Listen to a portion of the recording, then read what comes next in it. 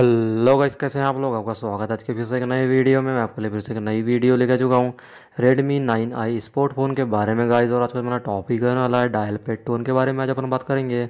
चलिए, बात करने से पहले आप हमारी वीडियो को लाइक कर लीजिए चैनल पर सब्सक्राइब कर लीजिए, और बेल के आइकन को भी प्रेस कर लीजिए, गाइस। अपन चलते आज की फ़ोन की सेटिंग में अपने, और आज बात करते हैं आज के टॉपिक के बारे में।